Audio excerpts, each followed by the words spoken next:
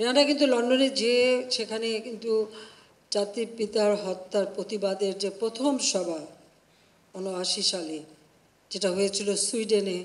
কারণ সুইডেনে আমাদের যিনি রাষ্ট্রদূত ছিলেন, তিনি কিন্তু ওই তখনকার মিলিটারি ডিক্টেটর সরকারের আনুগত্য স্বীকার করেননি। তিনি পদত্যাগ করেছেন এবং তিনি একটা আয়োজন করেন। সর্বপ্রথম এই হত্যার প্রতিবাদ জানিয়ে সেখানে রেহানা যায় এবং বক্তব্য রাখে। এবং লন্ডনে বঙ্গবন্ধু পরিষদ গড়ে তোলে এবং সেই বঙ্গবন্ধু পরিষদ নিয়ে কিন্তু সেখানে ব্রিটিশ এমপিদের এবং sir Thomas Williams, KC MP, তাকেও তার সঙ্গে যোগাযোগ করে।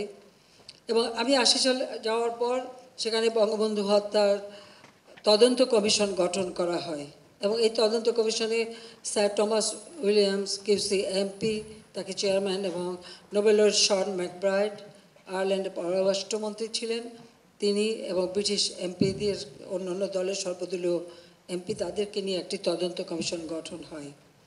এবং আমরা সেই অগাস্ট মাসে ইংল্যান্ডের ইয়র্ক হলে সর্বপ্রথম আমরা প্রতিবাদ সভার আয়োজন করি এবং এই তদন্ত কমিশন ঘোষণা দেওয়ার আয়োজন করি।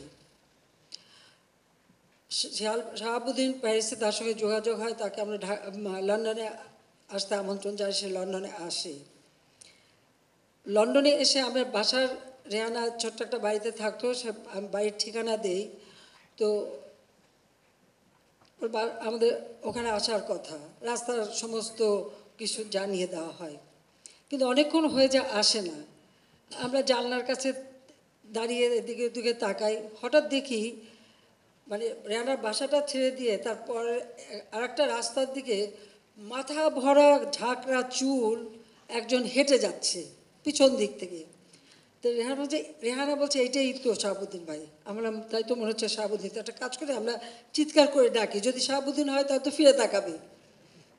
তো সত্যি আমরা, আমি শাহাবুদ্দিন শাহাবুদ্দিন বলে চিৎকার করি, ও ঘুরে দাঁড়ায় তখনই আমি চিনে গেলাম তো শিখির আসো এই বাসা তা আমি নিচে নেমে যাই, দরজা খুলি, চলে আসি।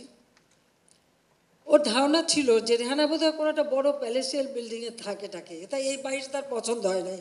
ওই বাড়িটা পার করে সে রাস্তা দিয়ে হেঁটে যাচ্ছে। পঁচাত্তরের পরে প্রথম সাবুদের সাথে দেখা।